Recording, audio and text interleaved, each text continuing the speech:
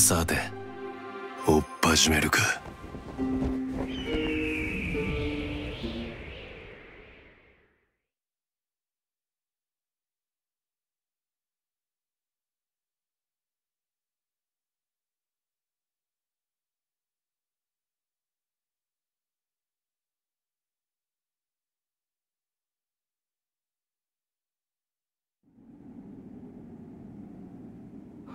当にこの方角で間違いねえのか？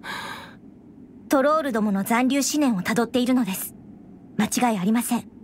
にしてもさっきからだんだんと薄気味悪い景色になってきてねえか？なんだか魔女の館にたどり着いた時と真逆って感じだぜ。やはり恐れていたことが。ここは隔離用です。それも少々厄介な隔離用の闇の領域。クリフォトです。クリフォト。隔離用はその深みの中に独自の雰囲気を持ついくつもの領域をはらんでいるのです。幽体とは己のオドと同質の者同士が寄り集まる傾向があるのです。暖かなオドをまとう者は暖かな者同士でここは逆。暗くよどんだ心の群れ集う闇。クリフォドですこれは通常ありえないことです。カクリオとウツヨがこんなにはっきりと重なることなどトロールやオーグル妖精や地味猛量幽体の生物たちがまるで肉体を持っているかのように人々に認識される。彼らは本来私たちの精神世界。夜の夢や空想の中に住まう者たちなのです。もしもそれが現実に存在してしまったらタロどうなるってんだ？わかりません。ただ世界は変わってしまう。いいえ。おそらくそれはすでに始まっています。あるものの出現とともに。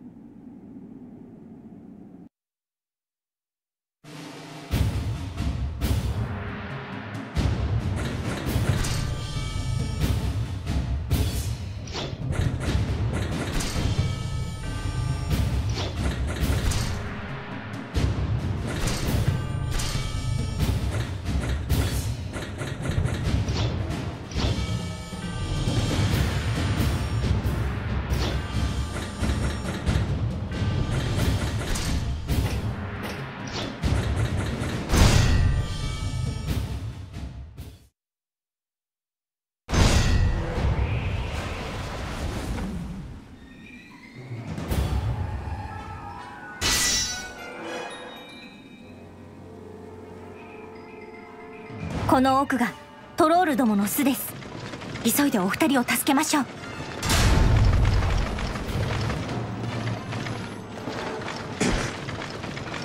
止まってください。あそこにいるトロールのオドをそらします。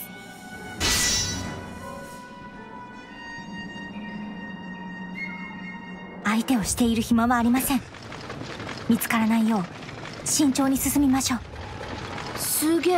どうなってんの？オドを操ることも魔術の一部。魔術師ならば誰にでもできることです。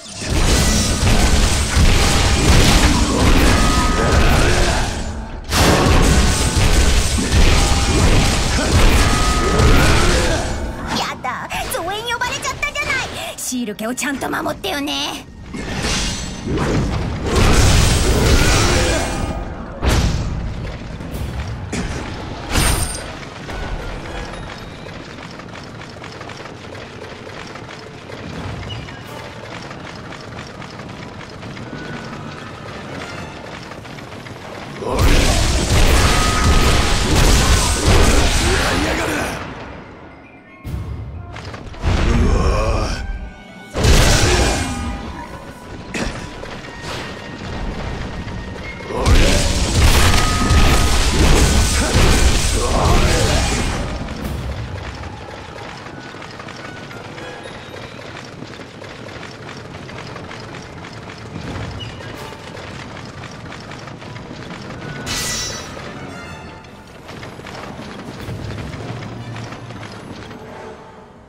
なんだ？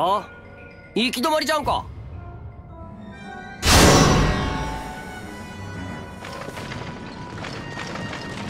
魔術で道を開きます。少しの間敵を引きつけてください。分かった。敵は任せておけ。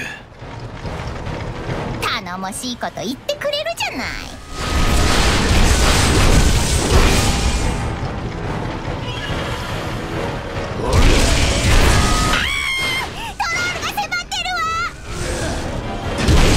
いつら奥から湧いてんのか？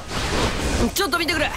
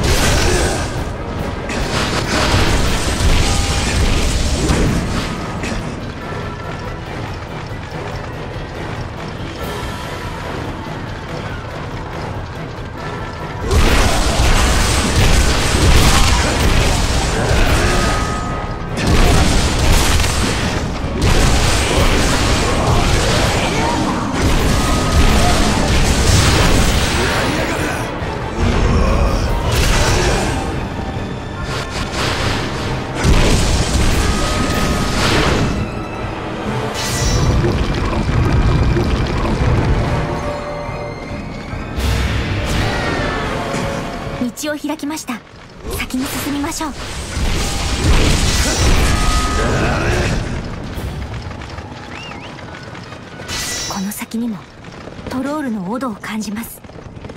見つからないように注意して進みましょう。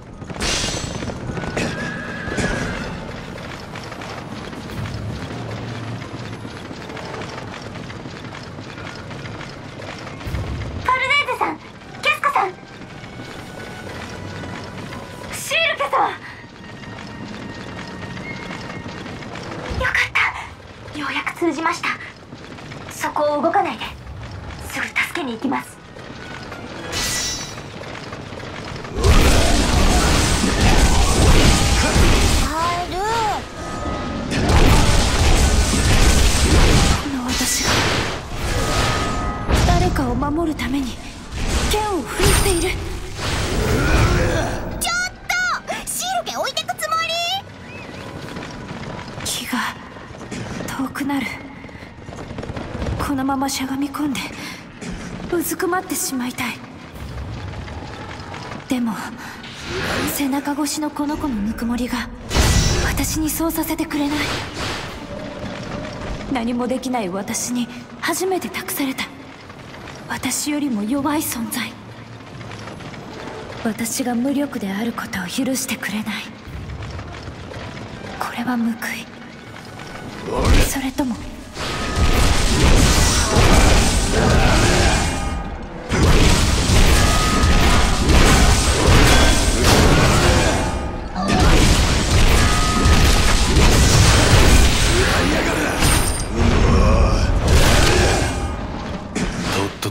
して進むぞ。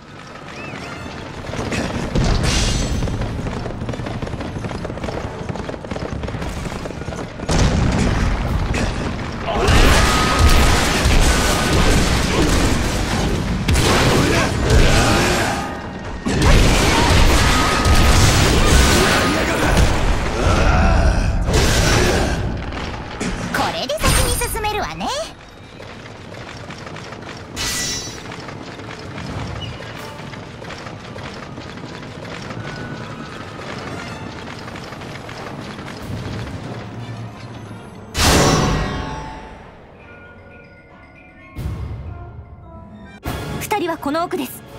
栄唱の時間を稼いでください。よしここは俺様に任せな。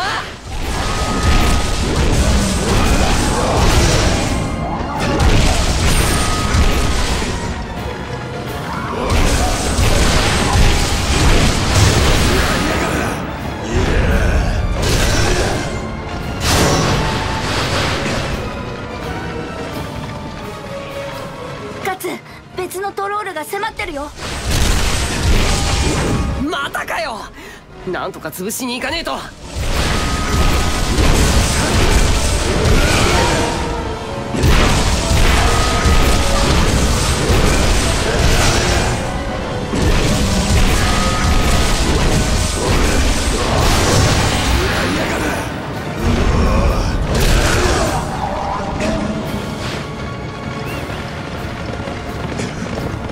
っちからもトロールの気配がするわ。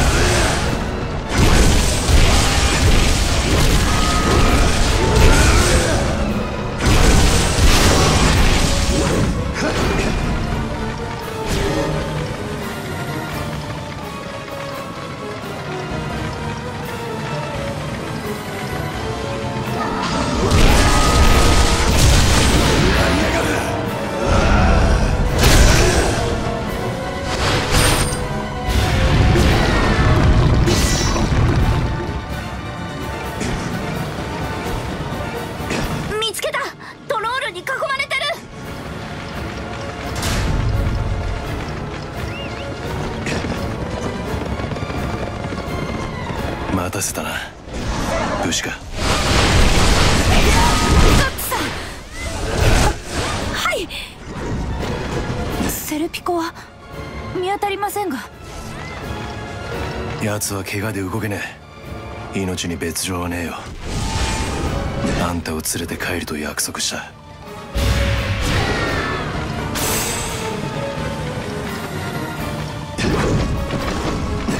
倒し終わりましたね。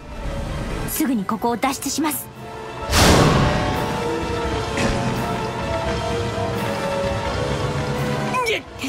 また出てきやがったぞ。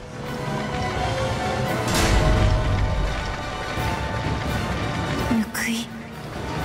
これは。でも本当にそう。あの時私が気を失わなかった。キャスカさんがいたから。自分よりも弱い存在が私を支えた。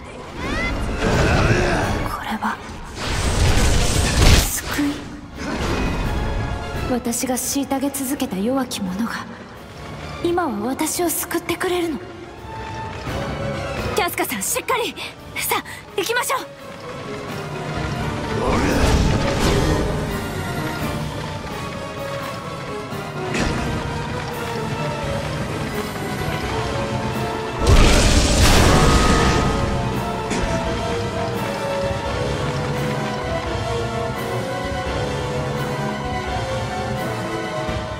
俺が足止めする。おめえらを先に行け。そんないくらなんでも無茶です。あの数を一人で魔術の援護もなしに。任せろ。なのよ。二の句も告げさせない。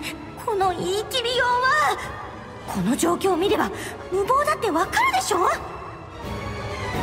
キャスカを頼む。悪ねえぜ。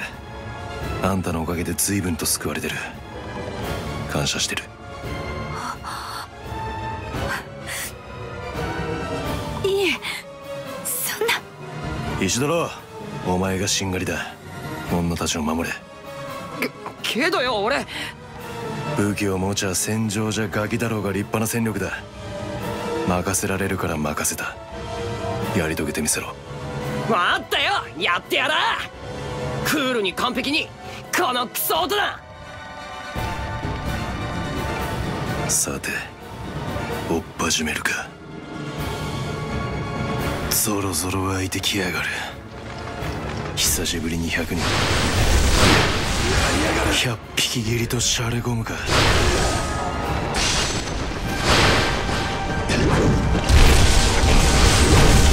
腹減ってんだろ来いよ。お前らのうち半分は今すぐ餌だ。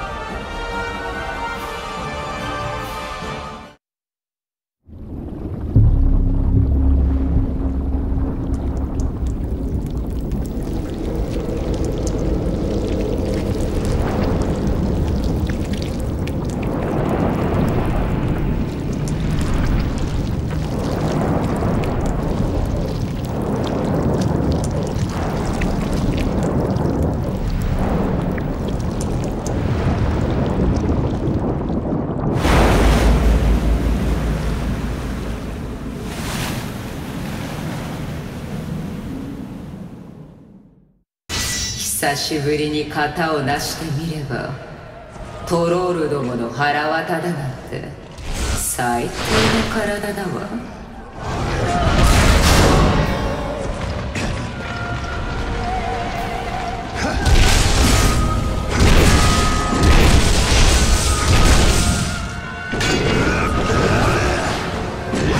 ガッツさん全員出口までたどり着きました。あなたも早く脱出してください。のはガッツさん？そこで今何が？ガッツさん？会いたかったわボーイ。お久しぶりね。いい。え私はいつもあなたを感じていたわ。洞窟で塔で。数えきれない夜の中であなたの洞窟を感じていた。そして道が開かれた以上あなたが私の領域を訪れることは分かっていた。さあもっと感じさせて。あなたの怒り苦痛すべて解き放って。あなたの魂はこのクリフォトにこそふさわしい。その像を苦悶そして恐怖。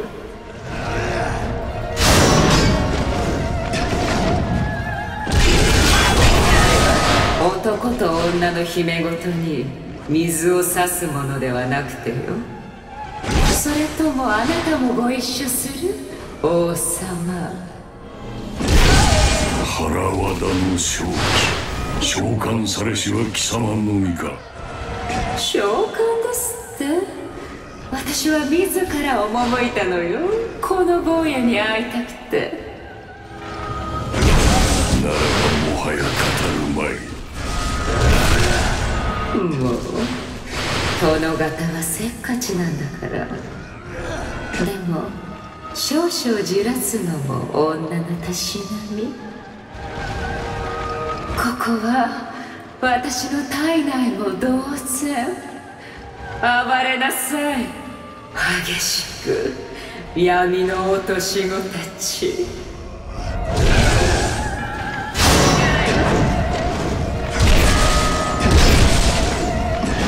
熱い。熱いわ。体が引きちぎれる。この感触。でも足りない。これじゃ全然。もっと。もっとよ。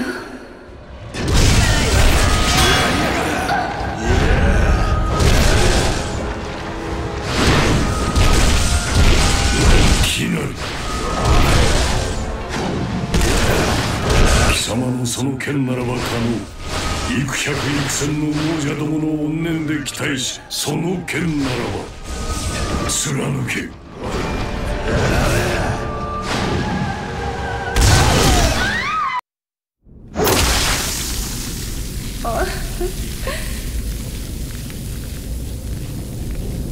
最高よあなた。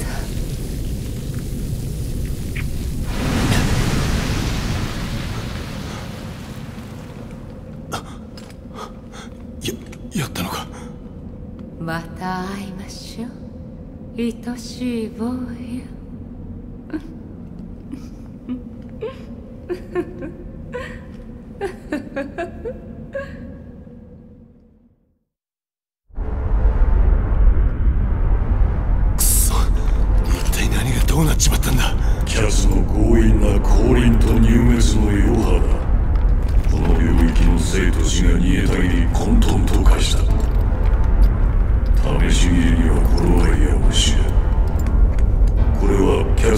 をかの渦で葬らんがためにのみ振るう手段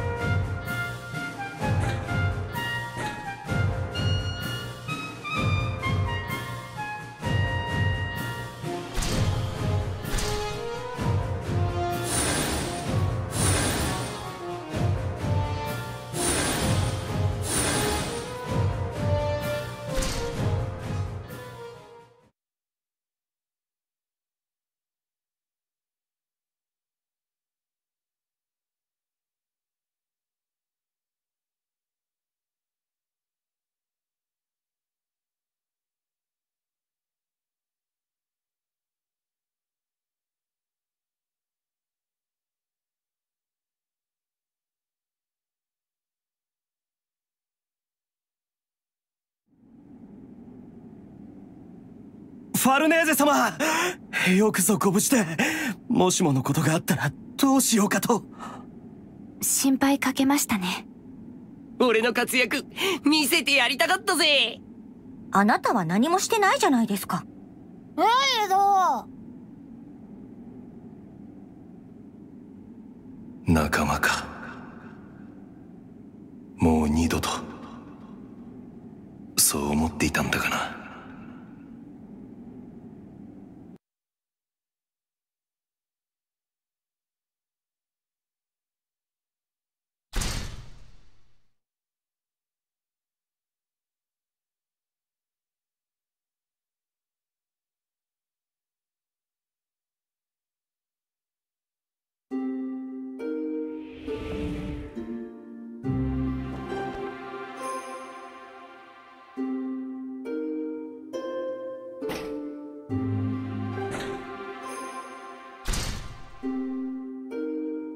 キャスカのお守りを頼むぜ。ははい。私に任せてください。キャスカさん。あなたには随分とむごいことをしましたね。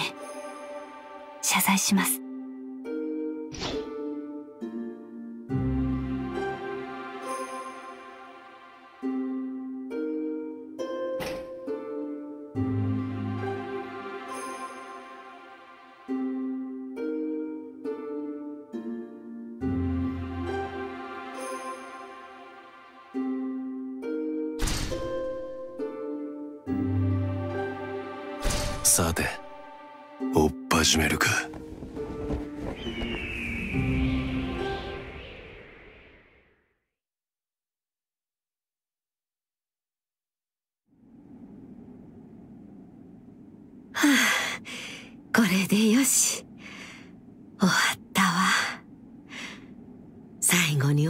仕事になったわね。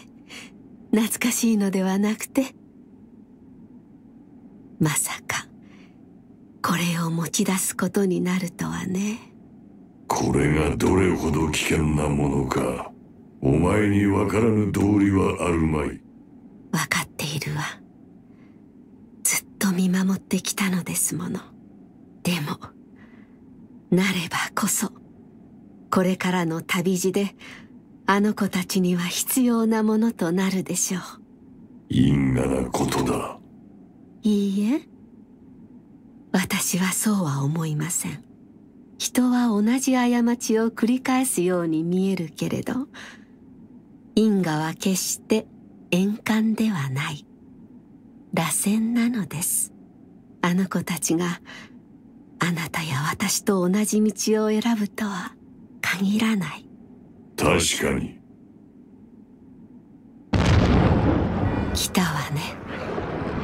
私の霊力も随分と弱まってしまったのね。こうもあっさり結界を破られるなんて戦ってくださるの？でもどの道私は。なればこそ安らかにあれ。ありがとう。あなたの真心忘れないわ。古き友よ。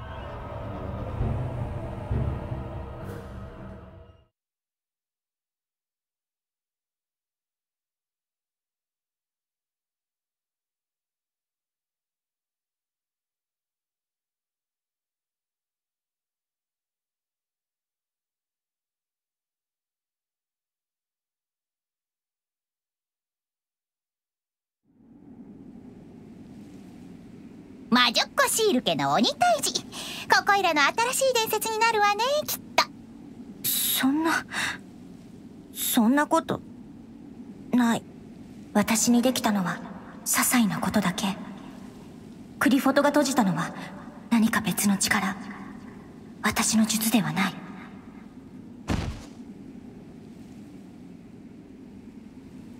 ガッツさんどどうしたんだ傷は塞がったんじゃねえのかよ。いいえこれはかなりの深手です。肉体の傷は確かに塞がっています。けれど幽体の傷が癒えずにそのまま残っているのです。大したことはねえよ。ちょいとした立ちくらみみてえなもんだ。肩ぐらい貸しますよ。不本意ながら。いいって。ガッツさん私たちが脱出した後一体あそこで何があったのですか？ぶん殴ってやったのさ。こいつで一発。天使気取りのバケモンを。そんなそんなことが。人間にそんな上位の霊体と戦える手段など。あの剣カクリオのものを切り続けることでその力に特化したあの剣ならもしかしたら。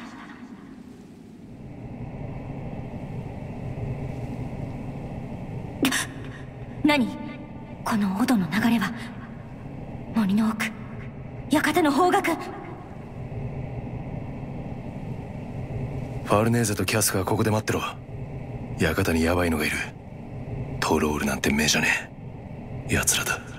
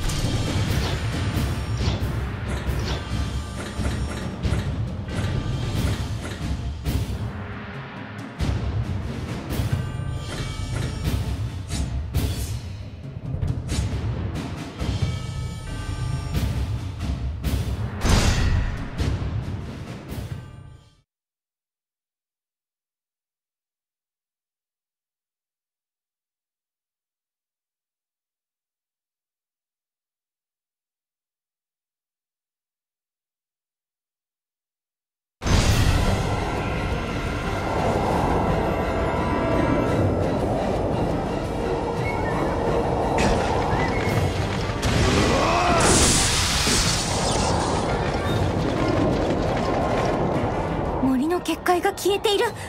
お師匠様が危ない。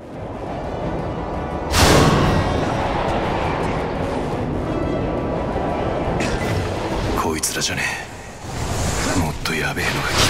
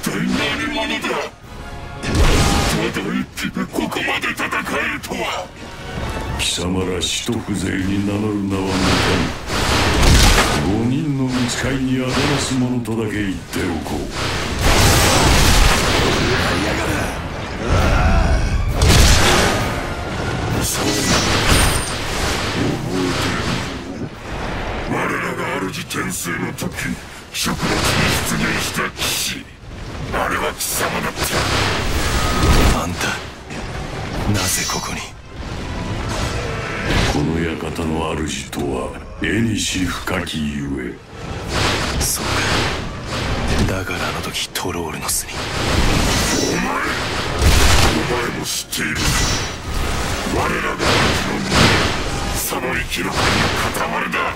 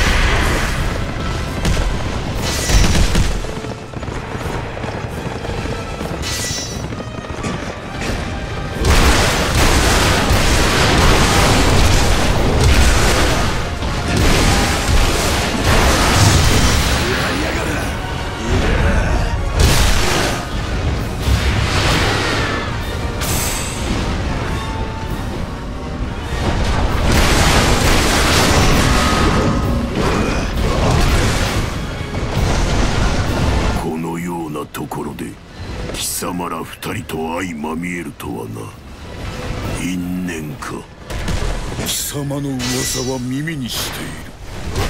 人を買って回る黒い剣士。そっと。てめえがどうしてここに。まさかてめえらの主ってのは。知れたこと。人外が主と定めるはこの世にただ一人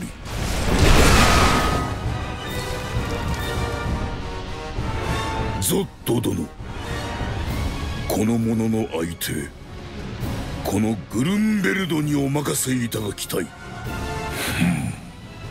よかろう。かたじけない。このグルンベルド。高野団の一武人として黒い剣士に一騎打ちを所望する。何？今こいつなんて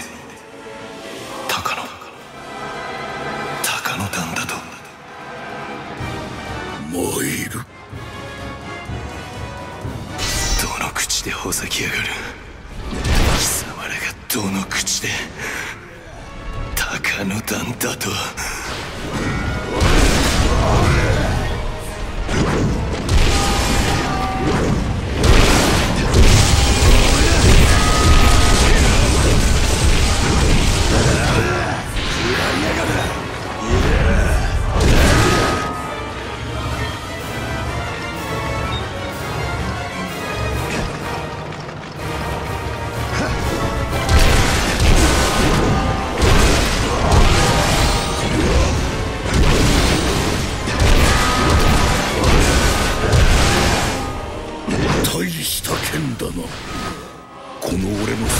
食らってへし折れんとは。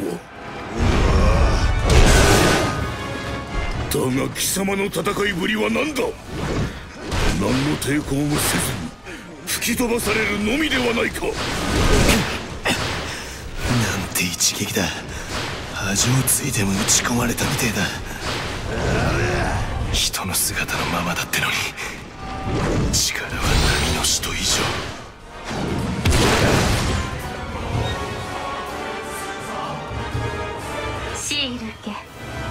くお聞きなさい。我が愛弟子よ。あれを黒い剣士殿に。あれってまさかそれよりこのままではお師匠様が。あなたには分かっていたはず。その時が来たのです。人が時の断りを超えて生きながらえることがいかに罪深きことか。魔術師のあなたにならわかるはずですでもやっぱり寂しいです。私日だまりの元の膝枕もゴーレムたちとの午後のお茶もみんなみんななくなっちゃう。燃えてしまう。おいどうすんだよ。このままじゃ。宝物庫へ向かいます。そこにガッツさんに渡さなければならないものが。あの人が私の運命なのかどうか私には分かりませんけれど今あの人を救えるのは魔術師の私だけ？霊樹の森の魔女フローラの弟子である私だけなのだもの。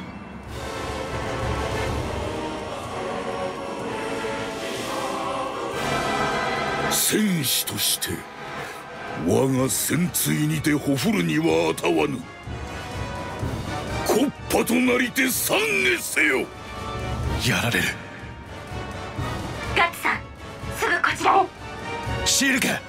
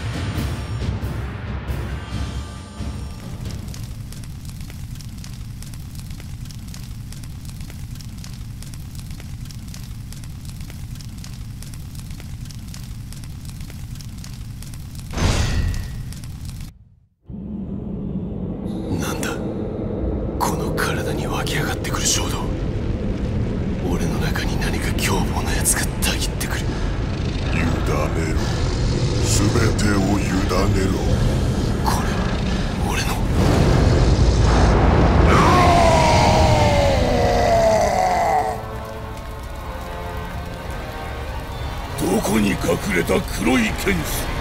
これ以上まだ醜態をさらすか。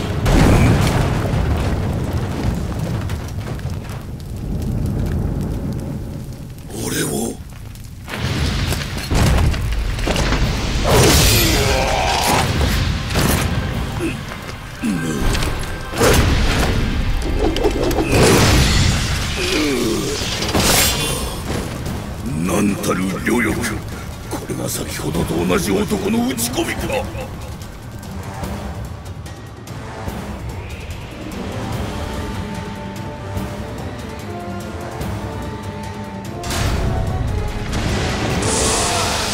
この気は懐かしいな友よ。奴にも同じ道をたどらせるか。貴様と同じ冥府魔道を。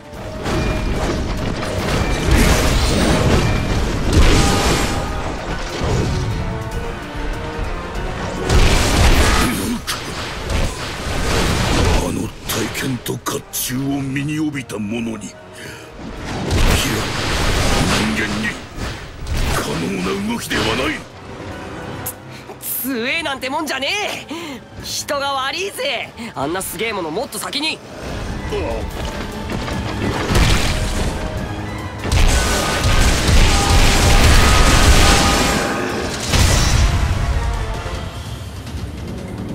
あれはそんな生優しい代物ではないんです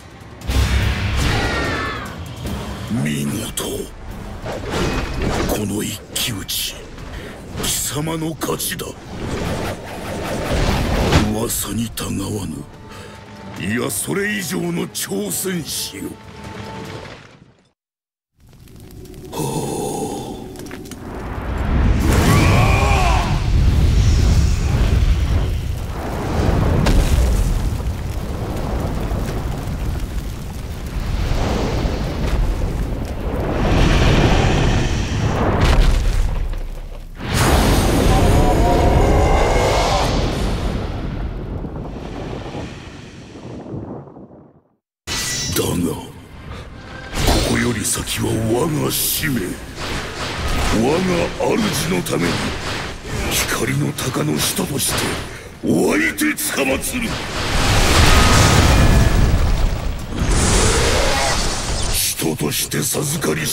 の力を用いて黒い剣士を葬る。ドラドラドラゴン！バカな捕らえただと。人の攻撃を人間が。おい今骨がいっちまったんじゃねえのか？甲冑です甲冑が折れた手足を補強しているんです。肉を貫き骨に食い込んで。どうしてそんなヤバいもん。瀕死のガッツに着せたりしたんだよ。鋼鉄以上の堅牢を誇る我が強玉の皮膚に亀裂だと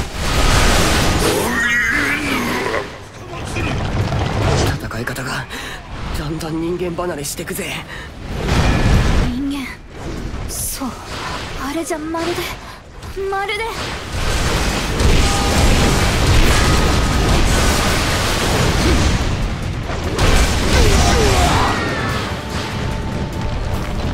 信じられぬ。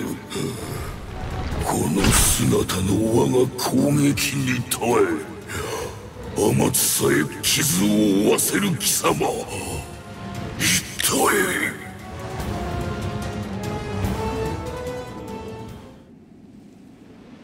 おいあの体で暴れ続けたらガッツが死んじまうぞ。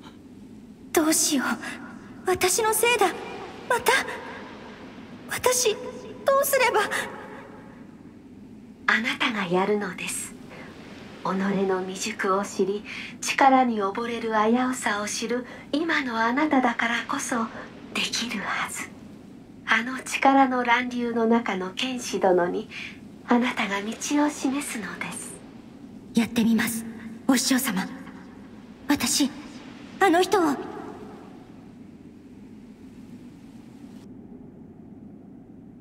これは炎怒り。これがあの甲冑に宿る憎悪の乱流。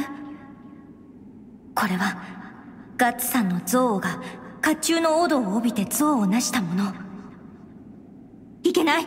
流れに委ねては。あなたはあなたでいられなくなる。思い出して。自分が誰か。どうでもいい。どうでもいいはずがない。思い出して。あなたが旅するわけ。今戦っているわけを。どうでもいいもののために人間の魂はこんなにボロボロになったりしない。旅。戦い。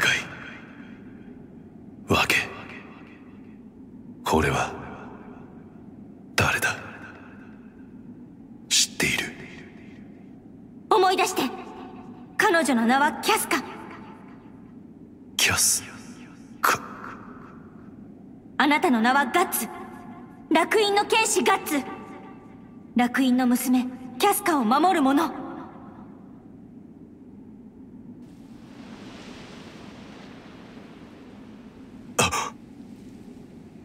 さっさと逃げるぞ。敵が迫ってる。でもお師匠様がまだ。お行きなさい。もうこの森も長くはありません。巣立ちの時が来たのです。ここより出て己の道を探しなさい。あなたと過ごした日々は短かったけれど私の長き生の中で最も安らぎに満ちたひとときでした。ありがとう。お師匠様！命はその形を変えるだけ。あなたの夢の中でまた会えるわ。目の前の運命をつかむか否かはあなた次第。あなたの巣立ちに祝福を愛しき子よ。さよなら。私の日だまり。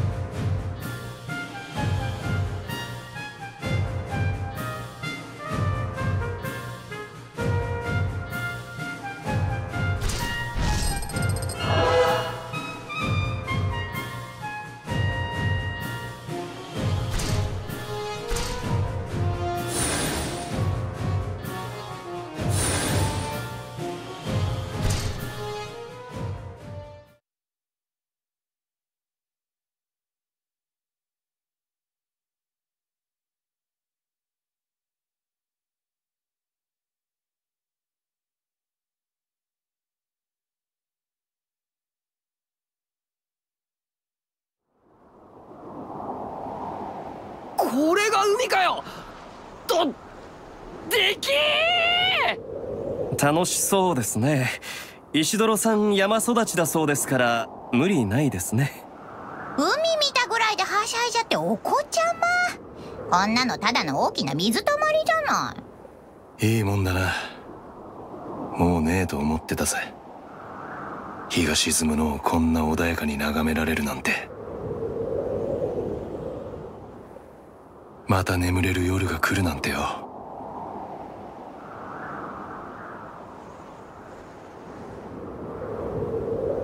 再び眠れる夜がやってきた。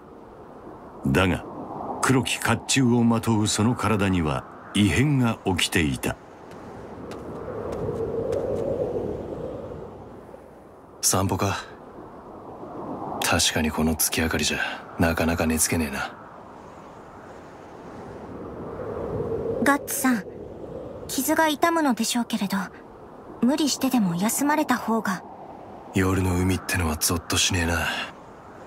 ぼーっと眺めてるとこの真っ暗なうねりの底に吸い込まれちまうような気がしてくるぜ。私海は初めてなんです。お師匠様がおっしゃってました。海は隔離と通じてるって。美しくて優しい。不気味で恐ろしいそんな風に万人の心の金銭に触れる風景。そういう場所は必ず隔離と繋がってるんだって。あの頃は想像するだけだったけれど。こうして海辺に立ち初めてお師匠様のおっしゃった意味が分かりました。私は今見知らぬ場所にいる。あれから少ししか経っていないのにとても遠くに来てしまったような気がする。私はもう戻れない旅に出たんだ。できすぎなんだ。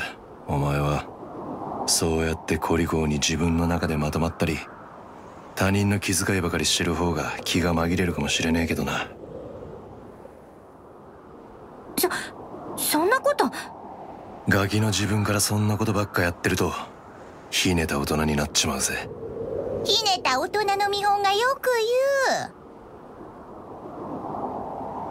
言う。おお気遣いなく。私たち魔術師にとって親しき者と死に別れるということはあなた方ウツヨの人々にとってのそれとは意味が違うのです。カクリオとウツヨの両方に身を置く魔術師にとって死とは終わりではなく新たな偉大な生命へと羽化することで決して。シールケ。決して。悲しむことでは。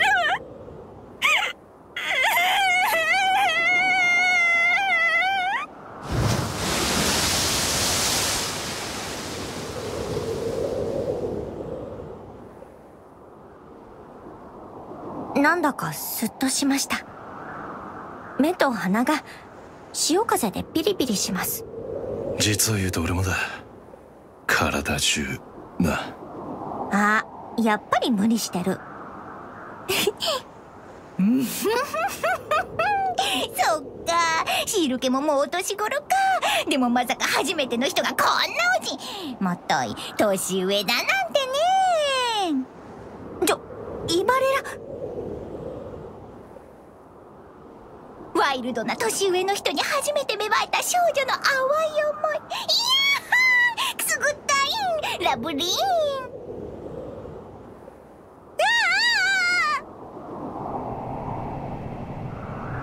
客だ。あんたやはり生きてたか？その言葉そのまま返そう。今日は何の用だ？見舞いに来たわけじゃねえんだろ。あんたがここにいるってことはまさかこの近くに使徒が。目はいくつかの色を失い舌は味を失う。指先は震えに疲れる。どうしてそれを？それは兆し。その鎧を帯び強戦士として戦いを重ねれば光声ぬくもり。多くのものをお前は失うことになる。さすがは我が家のオクラ出し呪いのアイテム。えげつないわ。そんな。いけすかねえな。相変わらず何でも知った風な口ぶりだぜ。ご忠告痛み入るがね。あいにくそんなことにはなりゃしねえよもう二度とあんなざまにはならねえ。次はシラフでこいつを使いこなしてみせるぜ。そうです。そんなことにはなりません。私がそうはさせません。失礼ですがあなたとお師匠様は一体どのような間柄なのですか？この甲冑はもともとあなたが身につけていたものなのではありませんか？レイジの森の魔女の愛弟子だけあってなかなかに盛しいものだ。いかにもその鎧は我が身に帯びし者であった。遠い昔我らが時の断りの中にあった頃我らは友だった。ちょうど今のお前たちのように。その鎧に宿るオドは決して消えることのない炎と同じ。火種はくすぶり続ける。木があればたやすく豪華と化す。たとえ護符が施されていようとも夢夢侮らぬことだ。お前が人としてあり続けたいと望むのならば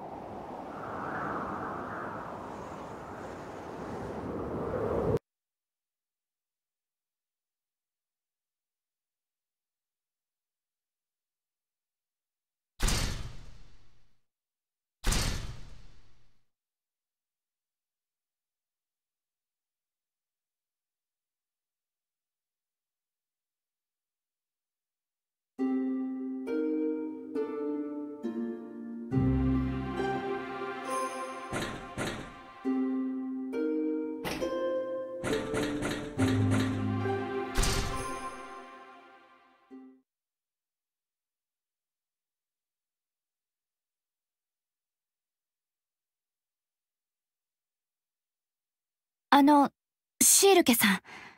折り入ってお願いがあるのですが。はい？私に魔術を教えていただけませんか？ファ、ファルネーゼ様、今、なんと。へ、へえ。ファル姉ちゃん魔女になりてえんだ。へえ。トロールの一件以来、私、ずっと考えていたんです。え、えっと。あの時は、正直心が震えました。恐ろしさと、感動のあまり、あなたの起こした奇跡、魔術という見業に、私は、初めて足を踏み入れた未知の世界で、ただ膝を抱えて縮こまるだけの無力な存在でした。でも、こんな私でも誰かを守らなければならない時があって、その勇気を与えてくれたのがキャスカさんと、あなたにいただいた一振りの魔法の探検なのです。でも、あれはただの銀のナイフで。なんか聞いててこそばゆくなるわ。言うことがいちいち大げさで。私にとっては紛れもなく魔法の探検でした。は、はあ。フローラさんはおっしゃいました。大いなる謎を受け入れ、世界の内より万象を探求する。それが魔道であると。もし未知なる闇を照らす断りの光があるのならば、どうかこの私にお授けください。魔術とは、本来物心つく頃から修行を始めないとなかなか身につかないと言われています。それは何よりも、人は年を重ねるほどに目に映るうつよという世界観に縛られて、その固定概念を打破することが難しくなるからです。でも、散々恐ろしい目にあったファルネーゼさんなら、その心配はなさそうですね。私自身、まだ修行中の身ですが、手ほどきぐらいならできると思います。よろしくお願いします先生さあファルネーゼ様、ま、ま、魔女魔女鳥が魔女に。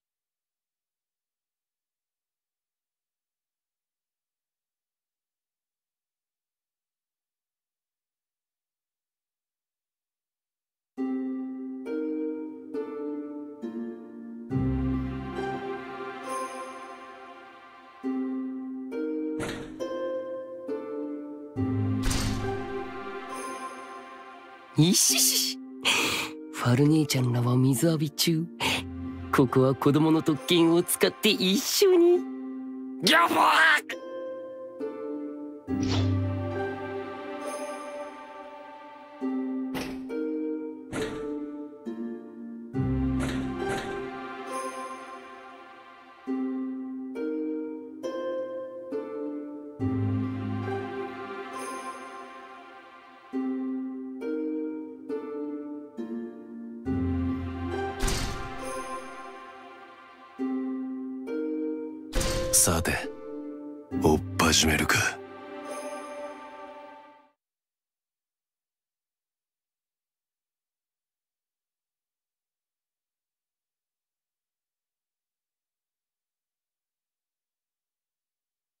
ブイヤベース風磯鍋です久しぶりの海の幸なので腕を振るったつもりでしたが塩が効きすぎましたか？いや、ちょっと口の中の傷に染みただけだ。いけるぜ、こりゃ。しかしなんだな、その頭。もはや黒い剣士って感じじゃねえよな。ちょびっと白い剣士。ほぼ黒い剣士。勝手に言ってろ。んで、結局どういうとこなんだ？おめえの国ってのは。あえてモーサバ、エルフヘルム、そこは遥か西の海に浮かぶユートピア。花は咲き乱れまくり、鳥は歌いまくり、エルフは踊りまくる、以下同文。エルフ、ヘル。ヘルちゃうエルフヘルムおめえみてえのがうじゃうじゃいいんだろ？エルフヘル。私、聞いたことあります。お師匠様から。西の海にある伝説の島で、名前は、スケリグ島。霊樹の森と同じ、狭間に属しているので、海図にも載っておらず、普通の人間にはたどり着くことはできないのだとか。その島では、エルフたちと一緒に多くの魔術師が暮らしているそうです。私も一度この目で見てみたいと思っていました。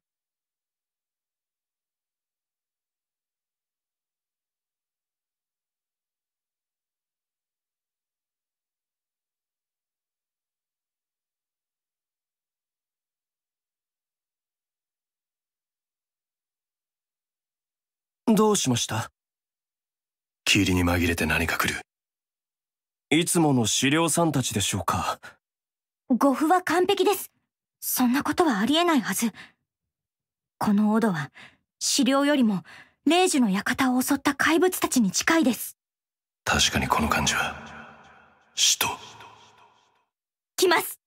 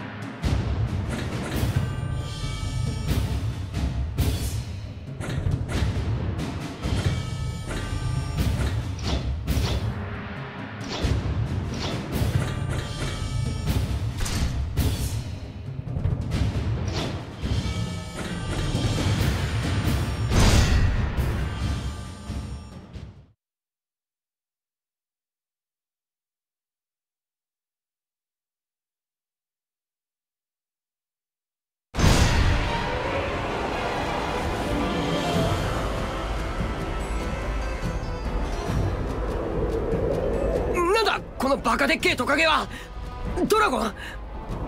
違います。これはワニ異国の動物です。動物に霊を宿らせて作り出した魔導生命体。スカイマよ。誰かが操ってるに違いないわ。小屋を守る陣を張ります。少しの間時間を稼いでください。今夜は満月が最も発揮されます。ここが聖地でなくても陣を張れるのです。